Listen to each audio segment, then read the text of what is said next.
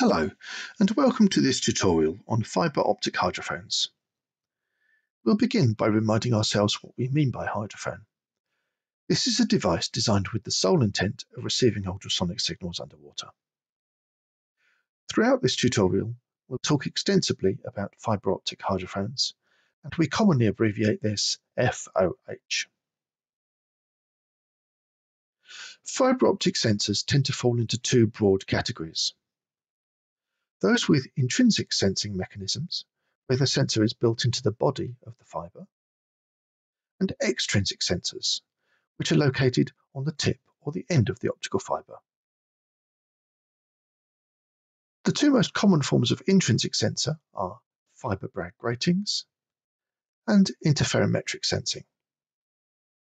And whilst intrinsic sensors are very commonly used in structural health monitoring, in civil engineering structures or aircraft structures, they often return a signal which is a line integral of the acoustic phenomena they experience.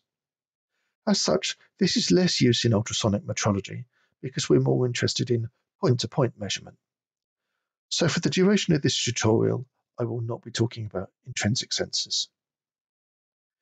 Extrinsic sensors similarly split into two categories. Interferometric sensors and reflectance-based sensors.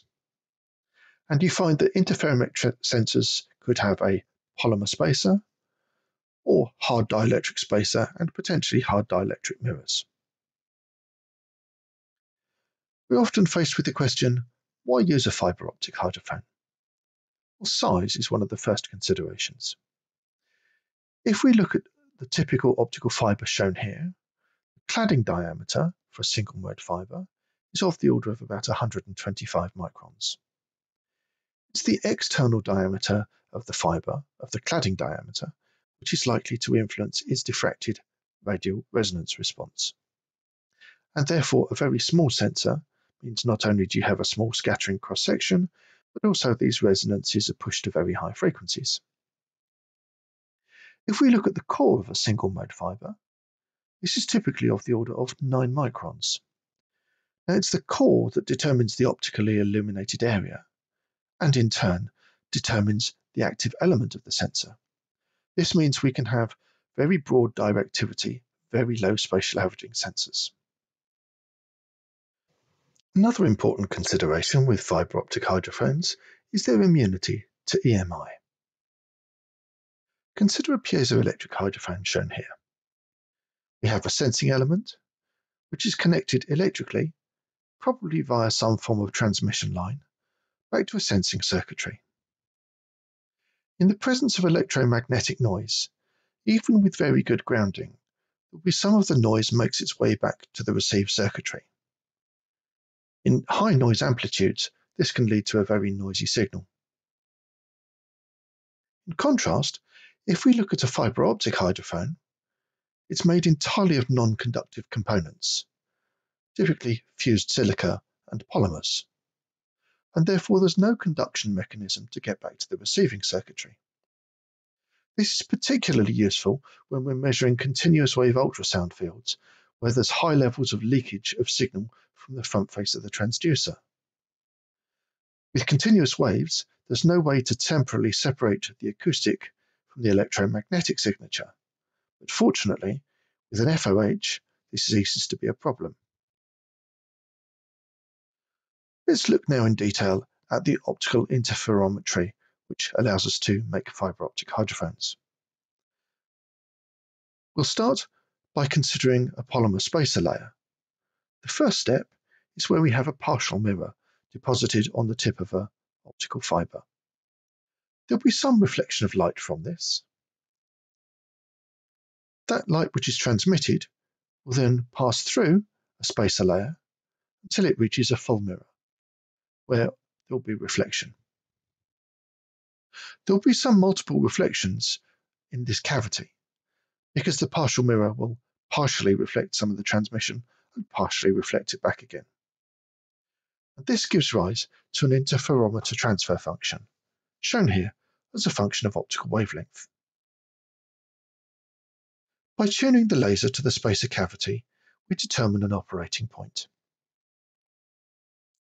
When an ultrasound wave encounters the fibre optic sensor, it compresses the spacing cavity, and we can see that we get some movement of light intensity as a function of wavelength up and down the interferometer transfer function. Because as we can see, there is some partial cancellation due to destructive interference effects of the two different reflected light signals. We can undertake a similar idea if we look at a stack of quarter wave layers that form a hard dielectric mirror. We could then put a half wave spacer layer in to again form an interferometer, and another stack of hard dielectric mirrors on the outer surface. This is still an interferometer, but this time it's constructed entirely out of much more rigid components. In fact, if we look at the dynamic range and sensitivity of these two interferometric sensors, we can start by looking at the polymer sensor. Recall that there was an almost straight section of the interferometer transfer function. That's shown here with the dotted line indicating our linear range. At the bottom end of that, we have our lowest sensible sensing pressure. This is our noise equivalent pressure. Similarly, the upper limit of that linear dynamic range is shown here, which is where we start to see a deviation of the sensor output from the linear relationship between output and pressure input. Considering now a hard dielectric, this is a much stiffer material, so we notice there's a much changed gradient relative to the polymer spacer. However, because it's a stiffer material, it also requires greater pressure before you can start to get some signal. So in this case, the noise equivalent pressure has increased. But so too has the maximum measurable pressure. In summary then, you find that polymer spacers have got a higher sensitivity with lower noise equivalent pressure, but lower maximum measurable pressure. Both noise equivalent pressure and maximum measurable pressure are increased when you've got an interferometer incorporating hard dielectric components. Let's now also look at the Fresnel reflectance type of hydrophone. Because the hydrophone is immersed in a fluid, typically water, there will be some reflectance due to the change of refractive index between water and the structure of the fibre, typically fused silica. When an acoustic wave is incident upon the fibre, there will be localized rarefactions and compressions of the water. And this will lead to locally very small changes in the refractive index of water, which in turn modulates the amount of light reflected. It's worth bearing in mind here that the change of refractive index with pressure is very small. So Fresnel reflectance hydrophones tend to have a very low sensitivity. However, because they incorporate no other components other than just a fused silica fiber, they have nothing which can go nonlinear in their response function, so can be used to measure very high pressures indeed. Thus far, we've alluded to the measurement of CW fields and high amplitude fields. This is a combination which often leads to cavitation, and therefore it's important to consider how a fibre optic hydrophone would respond in a damaging field.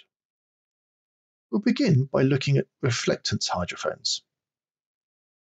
If we have an expanding bubble, which eventually collapses and undergoes inertial cavitation, cavitation is a highly damaging event, and it's almost certainly going to lead to damage to the hydrophone tip. Even if the damage is outside of the core area, changes to the cladding still affect the optical field, and therefore to the sensing. One of the advantages of a reflectance-based hydrophone is the ability to introduce a blade edge cleaver, which can produce a cleave line. The cleaved tip can then be removed away, and we have a fresh sensing element. This can be conducted by the user. In contrast, if an interferometric sensor undergoes cavitation damage, there's very little that the user can do to repair this. Unfortunately, the sensor needs to be replaced. However, the one mitigating factor is that the cost of optical fiber hydrophones is approximately one-tenth of that of piezoelectric hydrophones. So whilst they're not a disposable option, they dramatically reduce the cost of replacement. One of the other advantages of a fiber optic hydrophone is thermal sensing.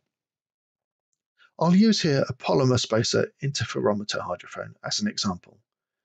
Other hydrophones have thermal sensing in slightly different ways. If there are thermally induced changes that the hydrophone experience, the polymer spacer cavity will expand.